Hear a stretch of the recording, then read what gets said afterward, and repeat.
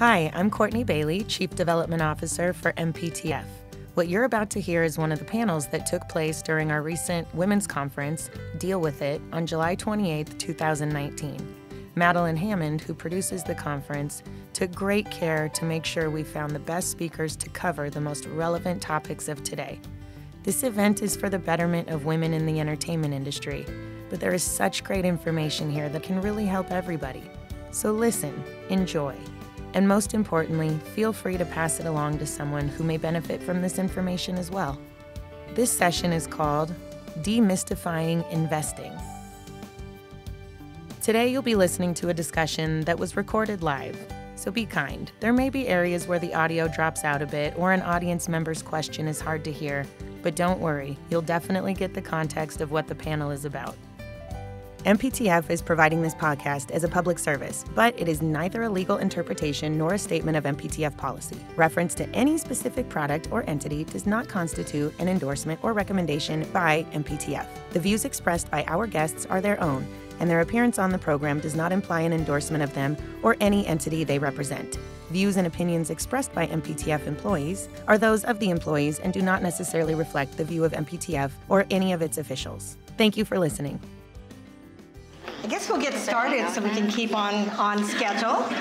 Uh, thank you everyone for attending. Um, this panel has a very ambitious title. It's Demystifying Investing and What You Need to Know About the Tax Laws and Retirement in 50 minutes plus questions. So I think it's a, a lot to uh, bite off. But fortunately, we have an all-star panel. Next to me, Liz Weston. I'm going to let them all give a little introduction, and Stacy Schrier and Jennifer Burnham Grubbs. Did you want to yeah, just briefly, introduce yourself briefly? I'm uh, Liz Weston. I'm a personal finance columnist for NerdWallet, and my Q&A Money Talk appears into the in the Los Angeles Times. Written five books about money, including a bestseller called Your Credit Score, all sexy topics. and I live in Los Angeles with my husband and daughter and a golden retriever over in Studio City. Hi, my name is Stacy Schrier, and I've been doing CPA work and accounting and tax in the tax. Oh, they're to make that magic happen. okay. okay, uh, my name again is Stacy Schrier, and I have been doing accounting and tax work for about 30 years now. I've owned my own business. I've also worked for companies. Um, what else can I say? I live in the San Fernando Valley with my husband and my son, and I really love tax and I love this world, even though everybody cringes. I find it fascinating, and I love helping people do what they need to do. Hi, everybody. My name is Jennifer Burnham Grubbs. I'm the co-founder of Quantum Insurance Services. We founded in 2012. Um, I was a Princeton graduate who never expected to be in insurance, and I entered uh, when I thought I was in between jobs, considering business school a sector that I found to be really problematic. Um, where most of the advisors were sort of salespeople, not advisors, abusing trust, actually, in my opinion, most of the time. And then I thought, well, somebody needs to fix that who better than me? so we founded our firm in 2012 um, as a commissions agnostic insurance consulting firm. And our mission is to help people understand insurance because it is useful the right way for their own pockets, not the advisor's pockets. Well, terrific. I'm Judy Kitano. I'm a corporate lawyer, and I'm not an individual financing expert at all. So I'm really happy to be here for this panel. I know I'm going to learn a lot today. So one one of the things we'd like to get the ball rolling and talk about is about fear and attitude around investing in money. And a lot of women do have a lot of fear or anxiety about that. Am I reverbing? Uh, we wor- worry we won't get it right. We worry we won't have enough. And so I know you all have talked about this a little bit, and maybe I'll toss it to Jennifer first. I know you've looked at some studies and yeah one of the things we were talking chatting just as we got to know each other before this panel and it was very timely about a month and a half ago my daughters are at a school where they were doing something about women in stem or steam which is science technology engineering arts and math and I noticed they had astronauts and engineers, and I had asked if I could just do something about business as well, because it was underrepresented. And they said, sure. I said, you know, because business and math, they go together. And so I was doing some research and I started studying stats about women and money. And it was great because in researching for this, I learned that women are actually better with money than men, which is a common misconception, or at least they maybe men would like us to think that they're better at it than we are. Um, but I think it's really empowering to know that before we even get to what are some of the things you might want to get to as you're at the seminar and planning for yourself is to know you're capable. Know that you're beyond capable, that you're probably better at it than maybe some of your neighbors who may be male that you might just think in your mind or on this and you aren't or something. Just get that whole thing out of the way completely. The stats show women are better with money than men. The one thing women have um, holding them back a bit is that men are very comfortable taking on risk with money. They'll kind of do stupid stuff with money. But as long as they're taking risks, they can kind of succeed upwards often. And women can be so risk averse that they may be better at collecting, gathering, and keeping their money, saving their money, being smart with their money. But because they can be so fearful and risk averse, at the long run, they'll end up shortchanged fearful of asking for a raise, fearful of taking a small investment because I don't know what I'm doing. And then, you know, while someone else is earning 6%, you're earning zero. That's what puts women behind is fear of risk. So I think Liz and others are going to have some really empowering things to help get over that. But before we get any further, I just want you all to know you're gifted at it. So that's one of the things I want to share. Anyone have anything to add? Oh, I, Yeah. just, I wanted to throw in that the, the risk aversion thing is a, is a big chunk of this, but there was a German, that is really annoying. Um, there was a German group that went through and did regression analysis of all the studies that consistently show women are more risk averse and found out when, if women had the same amount of money as men, they would be just at the same level, they would be taking the same risks essentially. So the stuff that's keeping us back is the earning less, the taking, you know, the caretaking, um, the not having as much money to play with. So, but when we get in there and we do it, we do really well. Great. Well, Liz, you, you wrote a book that's, an, that's a bestseller talking about how to get someone who hasn't spent a lot of time thinking about their money or caring about their money to start getting those on ramps to get on board. Can you share some of that with us? How many? Maybe move it down a bit. Wow. That's a good idea. All right, is that better? Yeah. You guys even, I, I I have some theater training, so I can belt to the, you know. Let's try that. How many of you were in the sex session? Okay. Investing is like sex. That should have been the title. Would have packed the room. You don't wait until you're an expert to start, right? You dive in and you figure it out as you go. That's exactly how it should be with investing. Okay? You don't wait until you know what you're doing. You'll have some interesting adventures along the way. You'll learn. That's that's the whole thing. And with if you're holding back or you're not sure or you're just doing the minimum, this is what at NerdWallet. This is what we tell people. You put at least as, if you have a match, if you have a 401k at work. Oh, first of all, how many of you know if you have a retirement plan at work? Yes or no? Okay. Three out of 10 workers don't even know if they have a retirement plan at work. So if you don't know, you got good company, go ask your HR person. If you do have a retirement plan at work, chances are it's got a match. Get that full match. Do whatever you have to do to shove that money in. That is free money. And how many of us don't like free money, right? That's where we need to go. Start there. Put it in the target date fund. Almost all 401ks, 403bs, whatever you've got at work has something called a target date retirement fund.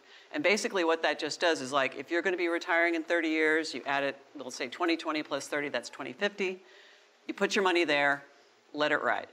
That fund is doing everything you need to do. It's making sure you're diversified, which means you've got money in different pots. It's making sure that it's getting a little bit more conservative as you get older. It's doing everything for you so you don't have to worry about it. Most of us have better things to do than become or try to become investment gurus and to do this 24 7. Fortunately, we've got all the technology in the world right now to take this burden off of us. And if you don't have that at work, if you don't have that through a workplace plan, or you're maxing out your 401k, good on you, there are robo advisors that do the same thing Betterment, Wealthfront, Personal Capital. They're all doing the same thing. Or uh, Schwab has one, Fidelity has one, Vanguard has a great one. They're all doing it through computerized investing, and computers are better than human beings because they're doing this 24 7. They're not emotional, they're not trying to make extra commissions off you. They're just taking care of it. So it's not that this is the only way to invest, but if you're not sure about investing, if you're just getting started, check those things out, check those resources out, because that's the best way to get going. And I'd like to add to what, oh, sorry. Oh. Um, Betterment Wealthfront. Oh, yeah, the, the, the, um, they're called robo-advisors, so Betterment and Wealthfront and Personal Capital were three of the startups that started this whole movement going. And now Vanguard has one called Vanguard Personal Services. They actually will assign you a certified financial planner, which I'm also a CFP, but I don't do planning for a living, but it's really good to have one on board. Uh, Schwab has two types. One is purely robo, and all, then another version has you can talk to a human being. And Fidelity has one now. I think those are the high, most companies now have some version, or try, most big companies are trying to get a robo on board because they've realized this does something better than the human being. Human beings are still there for the touch points, which most of us need. What might that be called if you go on the website and you're looking for a robo-advisor? I would just do, you know, if you're already at, like at um, Schwab, you just do Schwab plus Robo Advisor. That should bring it up. Uh, we have articles on NerdWallet about selecting a, a Robo Advisor that I think are really good. So do NerdWallet plus Robo Advisor, and we'll just kind of lay out this is good for you if you're in this situation. This is good if that's that situation. And I was going to say to kind of piggyback onto what Liz said is that the biggest determining factor is time, is how much time is on that money. And time is so crucial. The sooner you get that dollar into that fund, the more time there is for the power of compound interest to work for you. It is almost an automatic thing. Honestly, there's a little mystification that goes into, oh, well, like we, we picture there's some genius somewhere that's getting us that extra 2% because of their talent. But really, time trumps talent. If, if you're 20 and you have a 401k and you're not investing in your 401k, honestly, shame on you. Like, that's just the stupidest thing you can do, I'll be honest. Like, it, you know, if you're 40 or you're 50 and you learn today that you haven't figured out if you have a 401k, make this your Monday action point. It's that important. Time is absolutely critical in terms of putting yourself further ahead faster. And I'd also like to add that as well, that most companies, if you do work for a big company, they do have people on site that can help you with your 401k plan. Um, and, the, and I think companies are really trying to get that more organized and get people out there to help you do what you need to do because there's all different kinds of 401k plans. There's a Roth 401k plan, there's regular 401k, and the target is, is the best for somebody who doesn't want to sit there and look at it. We're not experts at that.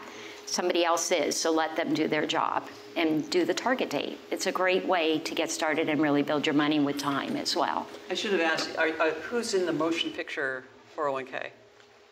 Okay. Uh, that's another good one, by the way. What about for some women who may be middle-aged and above that, who maybe haven't put away as much money as they would have liked? What might be the first steps?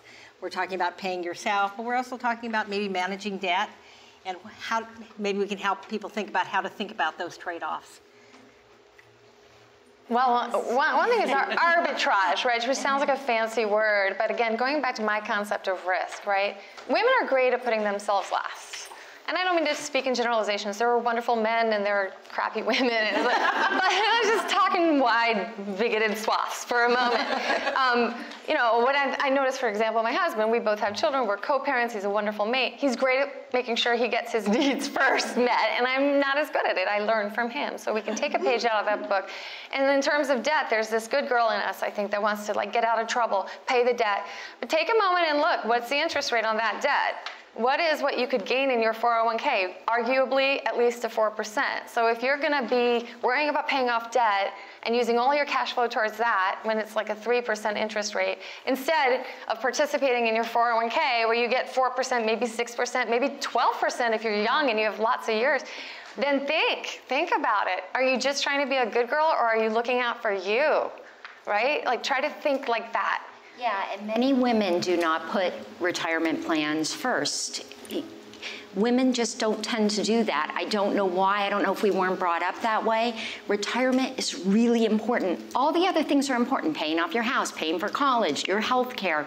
All of these things are important. But retirement is also important. And, and the beauty is, as, as Jennifer said, is you have time. A lot of people have time. And even if you even if you're 50, you still may be working 20 years. You still have time on your hand.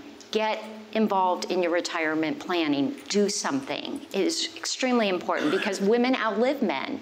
What if your husband's doing it all and he's not necessarily thinking about how he, what happens when he's gone? You need to protect yourselves and, and take care of that all the way around for everything. And it does take, you have to look at everything your debt versus your retirement versus kids' college versus this versus that. I mean, men tend to be more single driven. Women are looking like, oh, I have all these things. But you need to put retirement in your mix, and most people don't. They're just looking at all these things in front of them, but retirement needs to be one of the one of the things.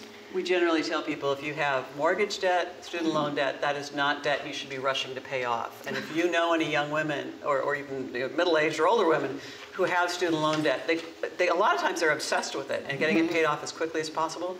That could be the worst thing you could do, especially if you're not contributing to retirement. And again, it's the good girl thing. I think I'm, you know, I'm going to take care of this and then I'll get to retirement. But as Jennifer said, you are wasting your most precious resource, which is time.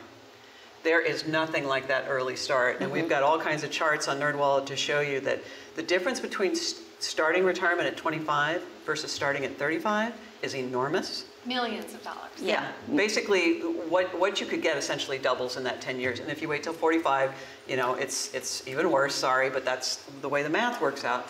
So get those women started on saving for retirement slow the roll on paying off yeah. all that low rate debt. It's not the worst thing in the world to have. So that's one message you can get. and one teach your children too. Teach your children. If you like, I have a 16-year-old who's now a camp counselor. He got his first paycheck, and he's like, "What is all this?" You know, and we went. I'm like, "Don't you know what I do for a living? Give me your check."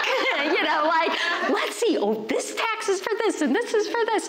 And I was thinking, like, maybe yes, he he wants to save, he wants to spend, he wants to, but maybe I should put a percentage in an IRA. Wow, like that's kind of weird at 16. But imagine, even if I put 50 bucks of his paycheck, what is that going to be when he's 60 or 70? I mean, he's got his whole life to let this grow and not and not touch. Um, so it's one of the things to think about when you're talking to kids or grandkids. Hey, maybe we should put $10, you know, of that check in either savings or IRA. Even an IRA is great. And and there's a lot, of, and we'll get into this, but there's a lot of tax planning you can do. That IRA, you know, he's probably not going to pay any taxes. He'll get that money back. But let's say he's making a little bit more. Well, you know, if he puts it in an IRA, he could take a deduction for it and get all his money back. You know, so the government is trying to help people with this. And if you're younger, it's really an opportunity to take advantage of that for sure. I will say though, Judith, circling back to your question is let's say, you know, let's say somebody's 50 or thereabouts, approaching 50, five years before, five years after. It's also a really critical time to be zeroing in very carefully because you do have this runway of roughly 25 years, maybe 30 before you're likely to need, for example, long-term care. The average age now is actually like 83, statistically 82. So you still have a lot of time, even though we're talking so much about the advantages of early planning when you're in your 20s.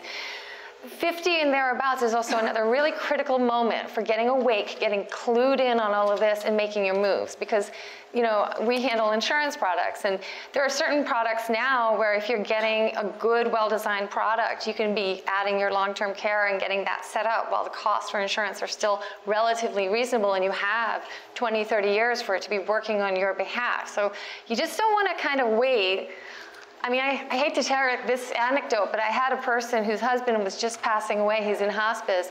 And they called a friend of a friend of her friend, and they know that I'm an insurance expert. And they called and they said, She's asking about final expense. He's going to die in two days. And I was like, no, you can't. You can't buy final expense two days before you're dying. Like yeah. the bare minimum is two years. Like you can't wait until the very end and then hope there's a way of torquing some solution out of nothing. Like you really do need to be thinking ahead. But the encouraging part is if you do that, there are so many ways you can find a way to bring it together, and we can talk more about that. Yeah, let's talk a little bit about resources and advisors. There's different kinds. Who do we need on our team? What's core? How do they get paid? What does that cost? Does one of you want to take the lead on that one? Well, I will because this is my hobby horse. so important. I even have a T-shirt that says that I love the F word and says fiduciary, and that's $20 word basically means is the person that you're hiring has to put your interests first. And I was talking about a friend of mine who's an inheritor, and she just inherited her hus- her father's broker. And I kept saying to her, honey, you need a second opinion. You need somebody else to take a look at this, make sure that you're on track. We talked for 20 minutes, and finally she stopped and said, wait a minute. He's not required to put my interests ahead of his own? It's like, no, he can put you in crap. As long, as he can make an argument that it's suitable somehow, he doesn't have to put your interests first. So that's what you want in your primary financial advisor is someone who is a fiduciary and willing to put that in writing. And that's where the conversation will end with most advisors. They are not fiduciaries. So I really, because I'm a CFP, I went through the training, I realized how much I didn't know by the end of it. I'm a really strong believer in getting some kind of CFP on your team because they are fiduciaries, getting it in writing that they're going to put your interests first. So that's your, to me, is the core part of your team. As you start accumulating more money, you're going to need more people on that team. The good news, and I'll let the, the other women take over, but the good news is there's a lot of ways to get financial planning advice now that is affordable. Um, the, the robo-advisors I was talking about, many of them have a CFP alternative or, or part of the package where you can talk to somebody. And getting a full-blown financial plan might not be something you need in your 20s, but I would say that as you're you know, entering midlife, it's a really good idea to have that.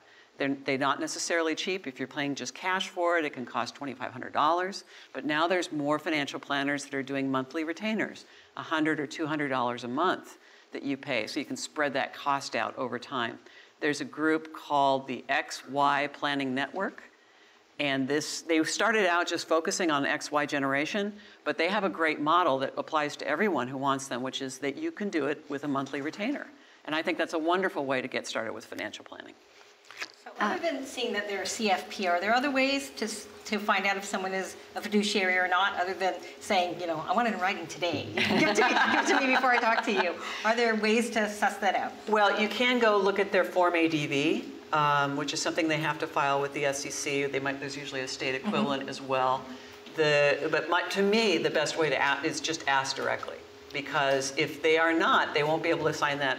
It's called a fiduciary oath, and you can look online to get a copy of it. Bring that with you to your first meeting. Can you sign this? And I believe they had to pass a law, right? Didn't they pass a law to be a fiduciary or something? Like they had to Oh, force people to be fiduciaries That's long something, they were trying Yeah. to do that, and then the, the election happened and that went by the wayside. yeah. So we're, There- we're on track to having everybody dealing with finan, with retirement advice being fiduciaries, and that's no longer the case. So total buyer beware. Yeah. You gotta be really careful when you're out. And I think most CPAs are um, fiduciaries. And attorneys. yes. Attorneys are also And attorneys. Um, yeah, I think that's true. You really want somebody working in your best interest. And we had talked about this that nowadays it seems like you go to a Merrill Lynch and suddenly they're going to provide all of your services under one umbrella. And oh, that sounds great and everything. But everybody's getting paid for that. You know, this investment advisor, she refers you to the loan people to refinance your loan. She's going to get a kickback or credits or a raise or something that's going to make her look better because of it. She's going to go over here and get your investment stuff. She's going to get your retirement set up. That one umbrella sounds really great. I only have to make an appointment and go once a year, but that may not be in the best interest of you. How many people are market, you know, when you go and get a home loan, there's a lot of options out there today. Don't you want a lot of variety to choose from?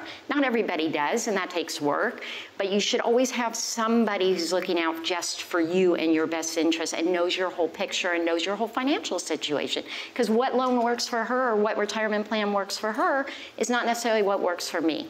So you should be really cautious of that, of the one size fits all type The other- environment. The other F word that's really important to know is fee only. Yeah. And you will see people advertise themselves as fee-based. That's not the same thing. That was the big wirehousers trying to get on this trend of fee only. What fee only means is they're compensated only by money that you pay them, by the fee that you pay them. And that cuts out all those kickbacks and commissions and trips to Aruba. Oh my God. Um, so it's all about, you know, you have this straight, clean relationship. That's why it costs money. Right. I mean, like, it, it does cost cheap. money. But I they're not good. I mean, one of the things I was going to say is second opinions are great.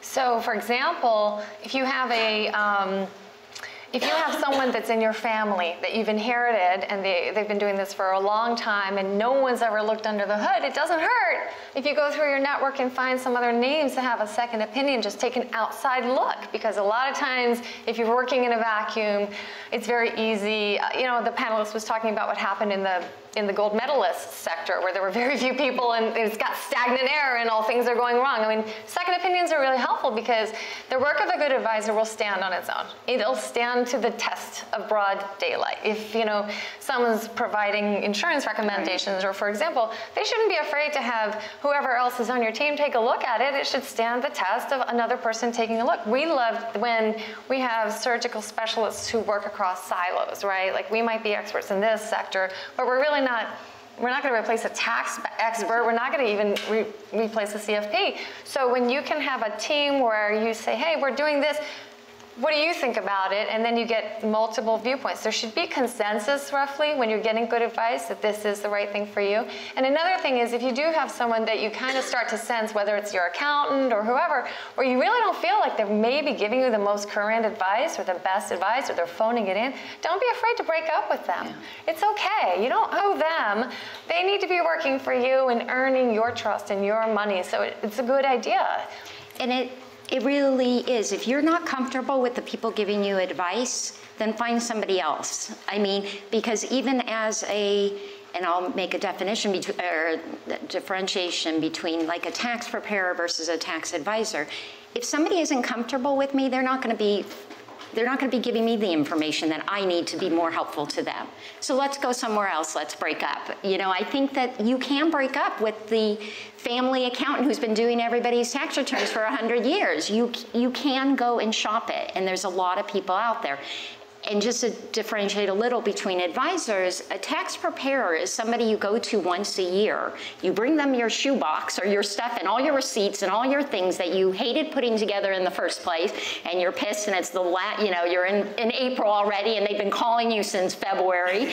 you drop it down, you leave, you come back or they mail it to you, you pay a fee and you're done.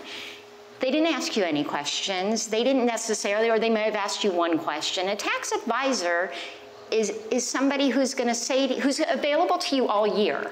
So I have clients who email me, hey, I just had this happen. Should I be doing this or this? Or I just got some stock options. Should I um, sell some stock to pay the taxes? Do I need to do estimates? Do I need to do this?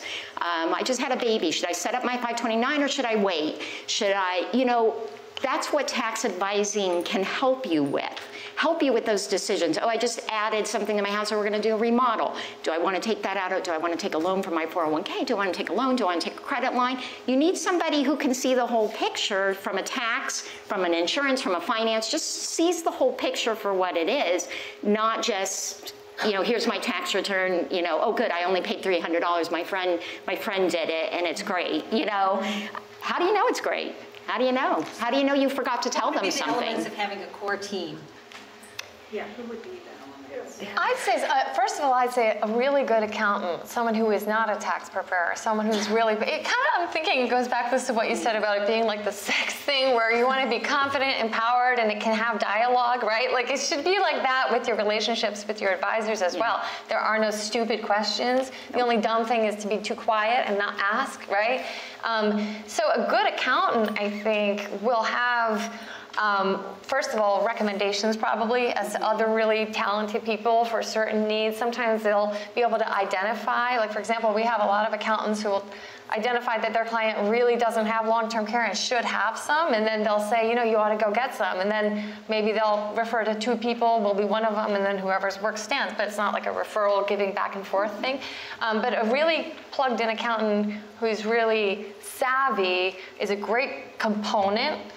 Um, I also think that you do want to have an investment advisor or a, I mean, look, I'm a big fan of Vanguard because their fees are low. I'm really cheap about fees, but you know, like anywhere where, um, and the robo advisor thing sounds great, like, a, you know, where your money's sitting while it's working for you, you should be pulling value out of that. They're lucky to have your money. Your money's earning them money. So, you know, get empowered with that. Look a little bit at how good are they at what they're doing? If it's anonymous and you feel like you can't any get can't get any care, there are hundreds of thousands of hardworking people out there who would love to be your advisor instead. I mean, I know so many different people who actually really work hard for the right to have your money and be working for it. So I guess that you know an investment advisor, and then I think an insurance, you know.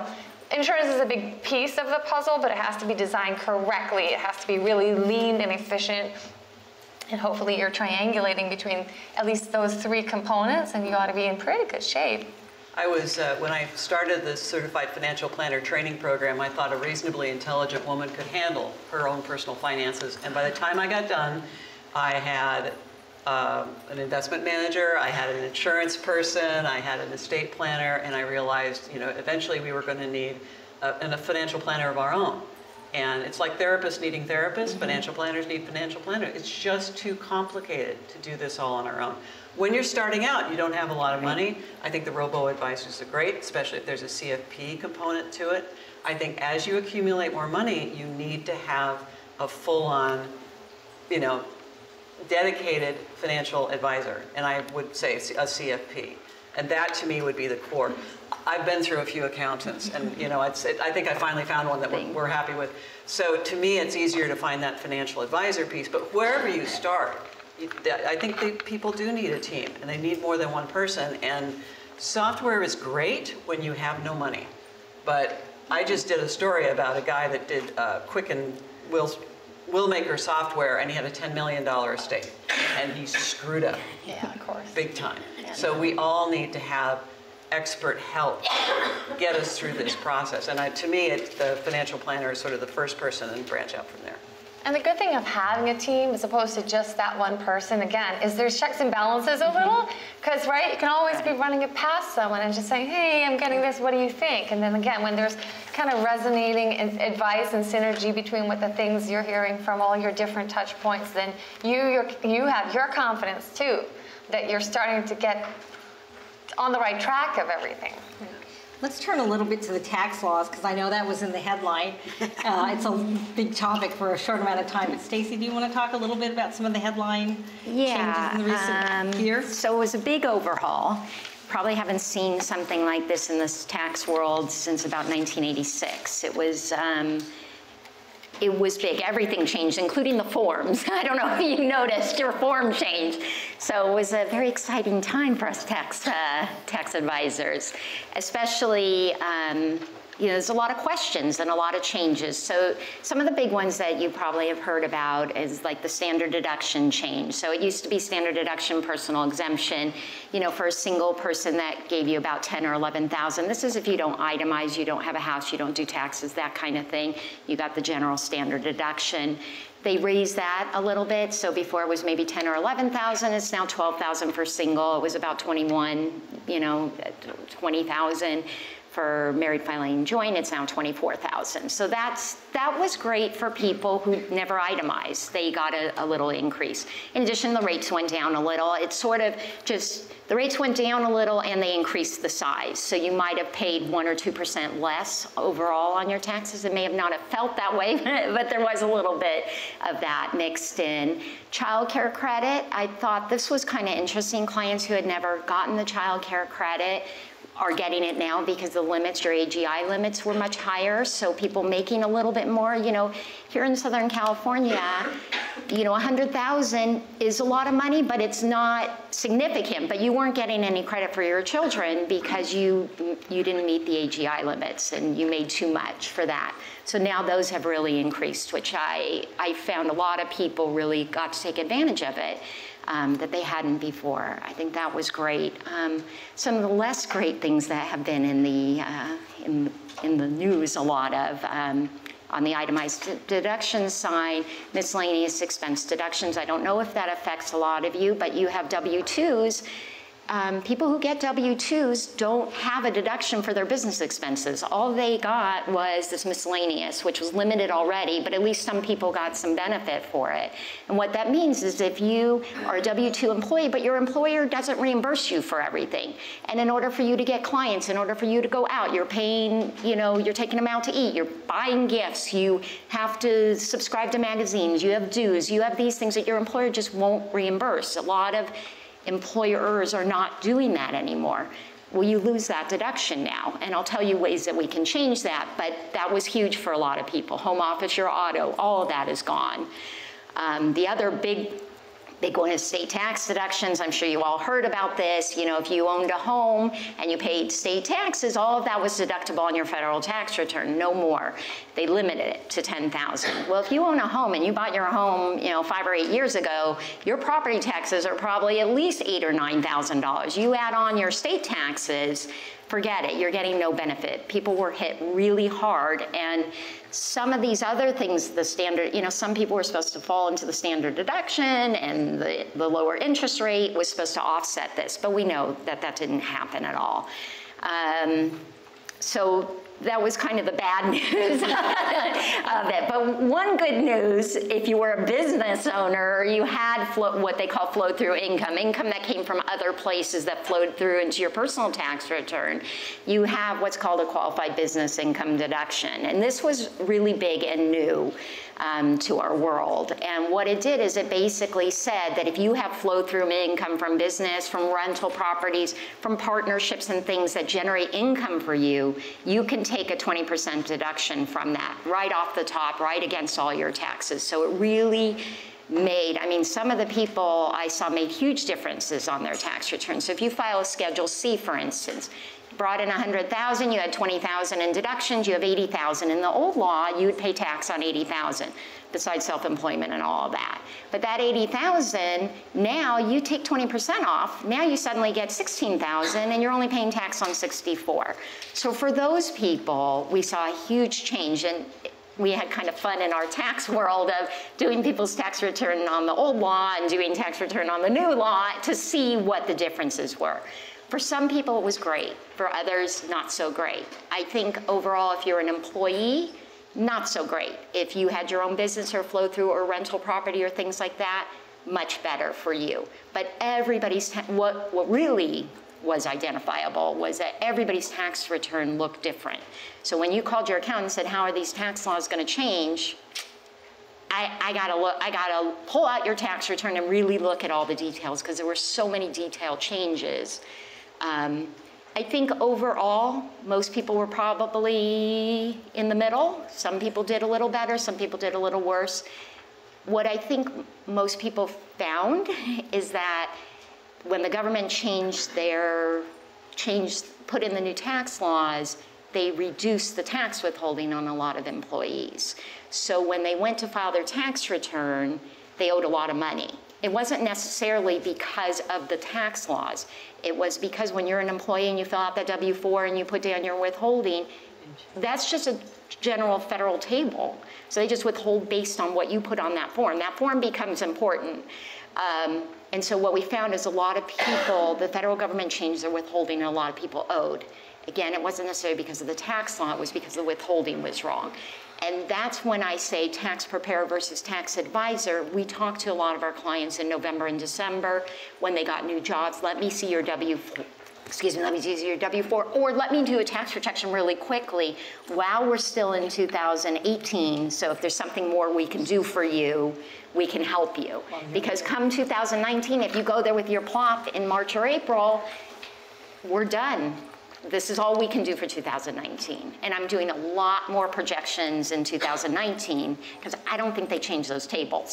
so just, just make sure you look for that because I think you're not withholding enough, just general observation. Let's talk a little bit about retirement planning. We've talked about that a, a little before. I know you've got some thoughts on Social Security and the importance of elections and long-term care insurance. Do you want to start and then Jenny? Liz, Okay. maybe you can, yeah, I'm Yeah, starting I, with this Social is, Security. this is another of my hobby horses. And I wrote a column and the original title was Don't Let Your Husband Screw Up Your Retirement. and I had to change husband to spouse and I couldn't use screw up, but here's what it comes down to. All of us who write about Social Security get these emails from these guys and they're always men and they always have spreadsheets and they are always arguing that it's better for them to start their Social Security at 62. And this is, they've got it wrong on every possible level. They've done the math wrong, they don't understand how the taxes work, and they aren't thinking about their wives at all. all. Now, the important thing about Social Security is when one of you dies, the other one, that one of the checks goes away. So you might be receiving two checks, somebody dies, you're down to one check. It's the larger of the two checks. So when these guys retire at 62 and grab Social Security as quickly as possible, they're not only locking in a reduced check for the rest of their lives, they're also locking in a reduced survivor's check because typically they're the higher earner. And sometimes these guys have stay-at-home wives who don't have any of their own enough Social Security taxes paid in or their benefit isn't big enough to qualify on their own. So they get what's called a spousal benefit. So these guys starting early not only lock in the smaller benefit for themselves, they lock it in for their wives. And then they die and she's completely screwed. And I had one advisor tell me about a guy who not only did that or was going to do that, he was also going to take his pension. He's one of the few people that still had a pension and take the single life, which means it ended with him. So their income would have gone from 72,000 when he died to 24, just like that. And none of these guys think about their wives. And I've talked to other, you know, I'm, i know you guys have been in the same place. It's like, hello. So don't let your husband or your spouse, whoever it is, make this decision for you. Make sure that when it's, you know, you're getting time to where this is going to be a decision, that you talk to a financial advisor, that you look at the information on your own. There's lots of great resources out there. There's something called Social Security Solutions and Maximize My Social Security that will do the math properly. You know, a spreadsheet doesn't do it. It's way the hell too complicated. So this is a, a, I've actually got a whole presentation about not letting your spouse screw up your retirement. It's really important to take the reins, even if you've let them do everything else to this point. My husband lets me do everything. I'm the CFO of the house. But you know, at this point, we are sitting down and talking about all these things because they're super, super important. And for so many women, that's why so many women are, are impoverished in later life, mm-hmm. is because of dumb decisions that were, sorry, uh, not optimal. Not optimal solutions that were made previously. This is going to be a podcast, right? Men are awesome. We see their traits. No, we do, and they are great, but it's like that. Don't let them be in a vacuum either, you know? Right another sounding board and maybe one way of coaching that or broaching that conversation is saying honey you've done so much for us and you know but so much is on your shoulders. Maybe you know maybe we should both get in on this and get together and i can learn I mean, who knows what but I, thanks for bringing that up. Super important. Another big concern i have is long-term care for women especially but all people really long-term care is really expensive. Uh, you know even now it's like five to ten thousand dollars a month for decent, to great facilities. And studies show that in, one, in 30 years, the average long-term care claim will cost $1.3 million. So it's kind of insane that you have so much pressure to have so much retirement left over after raising families and you know, sending kids to college and everything. You're supposed to also have you know, millions of dollars for not only just fun, but also the God forbid scenario of declining in older age and needing you know, care either round the clock or part-time or whatever. So it's one of those things people like to think about even less than they like to think about dying. It really is. It's like more unpleasant.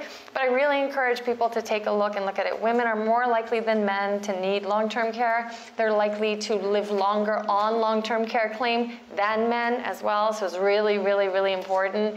I noticed in this um, handout that Madeline had sent, it was something, and a few other things about all these new trends and how to kind of prepare for that phase of one's life. But advanced planning and like really starting by the time you're in your 50s is really important to try to make sure you have a provision for long-term care needs down the road. I can't emphasize it enough. And another thing I want to talk about is cash flow as we talk about that. There's really never, never ever enough money for everything. There really is not.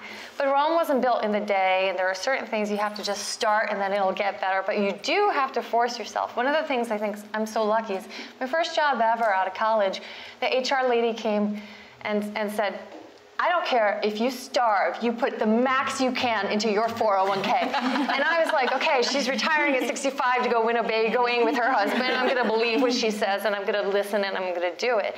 But there is like something about discipline. Being a woman is very expensive. We have to pay for hair. Maybe later we have to pay for Botox. We have to pay for kids, clothes, you know, to look good.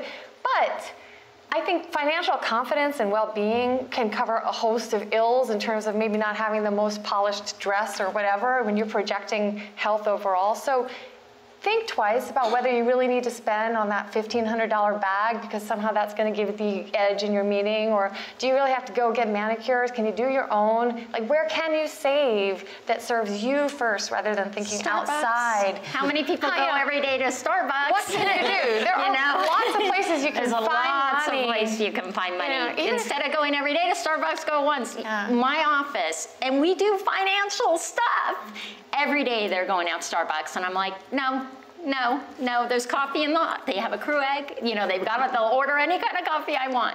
I never get Starbucks, but I'm in this world. you know, part of it's social, part of it's, you know, enjoying something. Do it once a week, don't do it every day um, everything. Like I read something like instead of going out to dinner, you know, seven days a week, go out to dinner twice. Go out to dessert if you want to do that. If you, or take a walk. Do something else instead of going out to dinner. I mean, just little things. You will find yourself saving 10 20 dollars a week or more. That should be going to retirement or to insurance or to something else that can be really helpful for you think about just be cognizant of where your money how many people go out to lunch every day I, again i brown bag it. People ask me oh you want to go lunch out lunch? I'm like "Mm, i brought my lunch but i'll take a walk with you if you want after we eat that way you still get the social interaction you don't have to do that every day coffee meetings and so I knew a guy. Yes, one of my old bosses too. actually when he was back on the dating Yes. scene, he started only doing coffee meetings instead of dinners because he realized like if it was a dud, he didn't want to blow the money on the dinner. He's thinking that way. You think yeah, that way why too. aren't we thinking that way? Yeah, why you do know? we think? Why Yeah. can't we bring our lunch to, to work? And, you know, there, there's a lot of ways where you can save a dollar here, dollar here, $10 here. You would be surprised if you're cognizant. I mean, part of money and budgeting and overall is be cognizant. Cognizant. Cognizant. Cognitive, Know how to pronounce it um, of what you're spending and what you're doing because the truth is money especially cash just seems to fly out of our wallets and suddenly we're at the atm be cognizant of what you're spending ask yourself the question do i really need these shoes or can i buy these shoes can i do i need that coffee do i not just little things like I'm, that I'm, I want to just throw this in because I'm, I'm pretty frugal. My husband always talks about that, but really, where the, the rubber meets the road, make more money. Yes. Oh, That is so, yes. That, that is the other part of this. Is definitely make sure, and there's probably a seminar on this, make sure you're asking for what you deserve. Make sure we all deserve to make what we are worth. And we're all worth something as women, and we can always provide something at the table. Make sure, and if your current employer is not doing it, go find another job where they will appreciate what you have to offer and make sure you're getting paid for what you do. Before we turn to Q&A, does anyone have any wrap-up thoughts that they'd like to offer the audience? I think I just did. Yeah. And we had been talking that. about the, you know, the tax laws changing. Two things that are really important to, to take away from that. Your 401k just got more valuable Yeah. because now there are fewer ways to reduce your taxes. And having that side hustle, some kind of side hustle, having multiple streams of income so that you're not just tied to one job or even one career. And those side hustles have a lot of opportunities for saving taxes as well. Yeah, that actually is a good point. You know, when they say make money, if you can't do it in your current position, then have a side job. Sell makeup, sell this. Sell. You know, there's so many opportunities out there, and you can search for anything on the web. I need to make a little extra income. How can I do it? I, you know, there's tons, and there are jobs out there. There are other jobs out there, and no matter what you think, the economy is doing better, supposedly. So if if you can get a second job, go for it. If you have the time, energy, and the wherewithal, make sure you do that. And I'd say just make sure you get on this. Like, do it on Yeah. Monday. Think cognizantly about what's possible, and sometimes force yourself to do it even before you're 100% sure you're ready. Ready you know, like my long-term your care, I forced myself to do it before I knew I really had the cash flow because I knew I could hustle and create it in time because I knew I had to do it for my tempo. And then you grow to fill the void you've created of what you've got to create. Women are so amazing and re- being resourceful and, and, and bringing it through. So it's a great motivator. Great. Any, any questions? Lots of questions. Uh, thank you so much, it's great, but, uh, one of the things is, you know, I started later for whatever my career was, the saving, you know? And I also, you know, so I've got the Vanguard and uh, the Target and all that. One of the things is I worked in two different places, and one of them is um, because there's been such volatility and I started later, one of the things I thought about doing is doing an extended a date later than what I think my actual retirement might be, because it'd be a slightly more aggressive thing. So one, I wonder about that. And then two, my partner, because he's older than I am, and we're talking in the seventies, you know, his thing is, uh, the volatility of the market now, even though we're much more, you know, bonds than stocks, uh, is to take any kind of dividends and put that into a flat rate place for now, because of what's happened over the last year and what we think will be happening given the Trump off. So I wonder what you think about that approach, um, about following that and Yeah. and, uh, socking stuff away, which goes against everything I would think to do. What, what's the, what's the age difference between you and your husband? Uh, seven. Years, okay. um, Just to, for the podcast, I'm going to repeat, there's, there's issues about retirement and how to deploy the money, especially if you're getting a late start. Um, And this would be a classic case to get a financial advisor, and it's way complicated trying to do this. My husband's 10 years older than I am, and there are a lot of moving parts to that. I will say, put off Social Security as long as you possibly can, excellent, and that will be like your bond. That is guaranteed income you cannot outlive.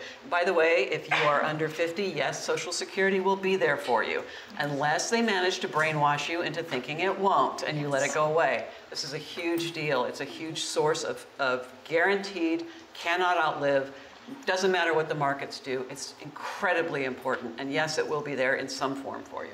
So we know since we're older that it is going to be there for us. So that's going to be the core of it. And then go talk to a financial planner about how to deploy this because you've got required minimum distributions, you've got a lot of moving parts to that.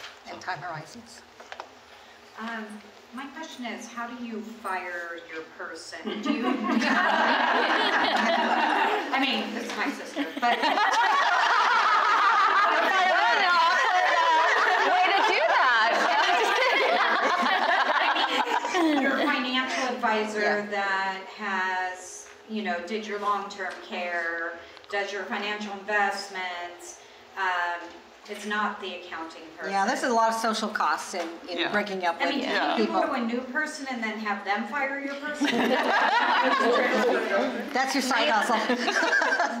Well, yeah, I think you have to be honest. Go ahead, Jennifer. I had to fire an accountant who was great, except for I just knew she wasn't the right thing for my needs after the time, you know, had had filled itself out. And it was hard, but um, I ended up, you know, just being honest. I mean, I think the, the thing you do is do it with dignity, treat the person with dignity, and just say, hey, listen, for, and you can make up little things like, oh, for whatever, you know, but you've been wonderful. I'm really sorry we have to go, but you know, you can do that, you know. Um, but just be honest. Give them the dignity of doing it. I know it's awkward, but there was a study. I was reading psychology today on a flight back from the, uh, New York seeing clients, and it said that a lot of times we fear uncomfortable conversations, but studies show that after you face an uncomfortable conversation, you typically feel a lot better than you expected you would after it, and or the uncomfortable feeling that you feared lasts a lot like shorter period of time than you had anticipated.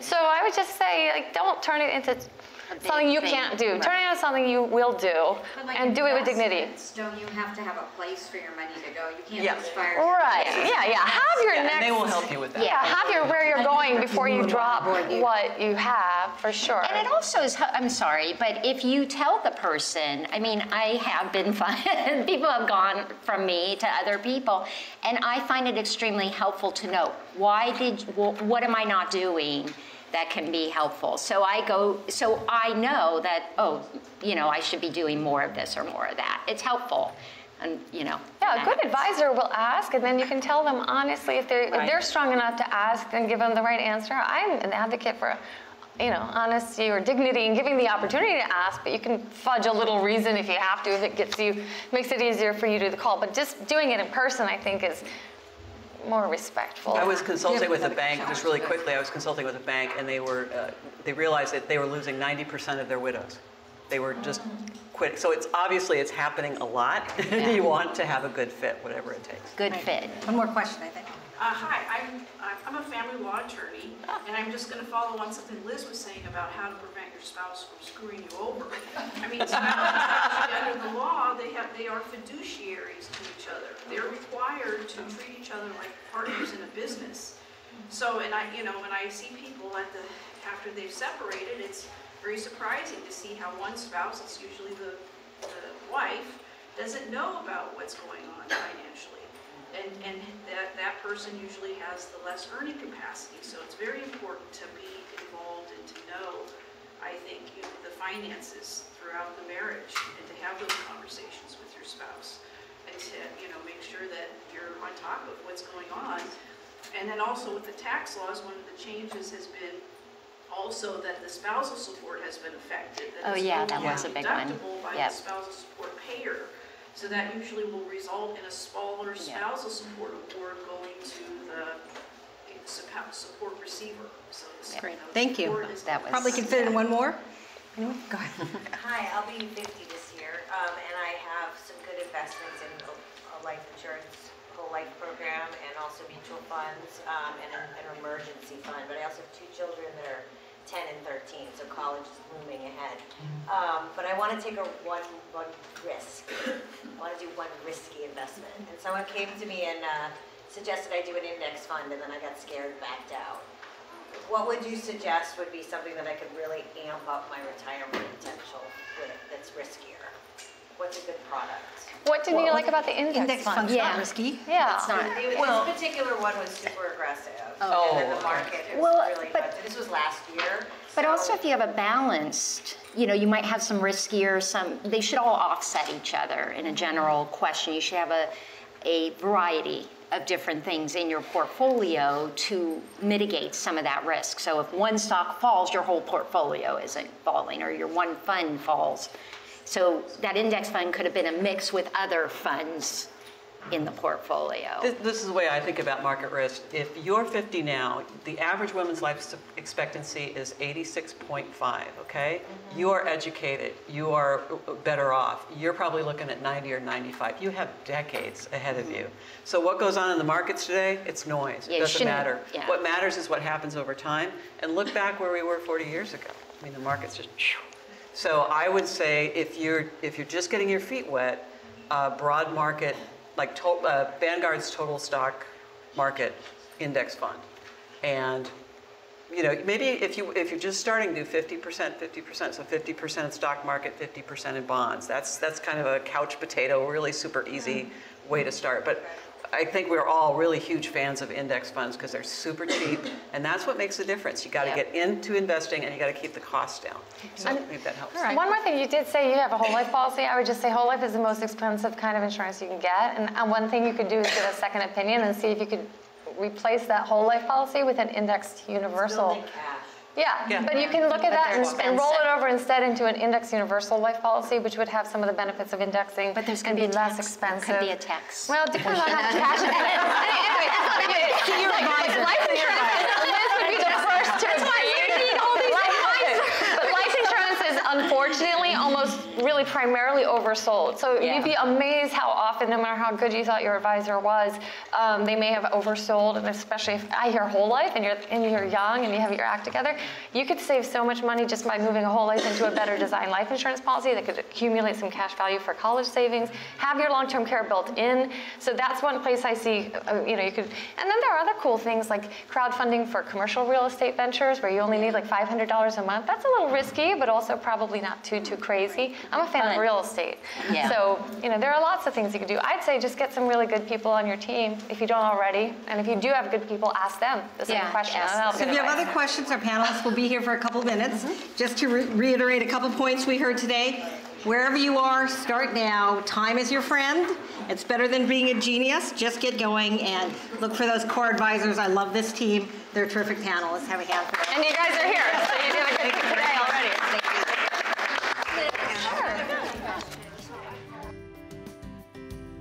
So now that you're inspired by this incredible panel of women, let's continue this feeling. Please visit our website at mptf.com. Follow us on all our social media feeds Facebook, Twitter, Instagram, YouTube. Or if you're so inclined, we'd be so grateful for your support. You can text MPTF to 41444 to make a donation.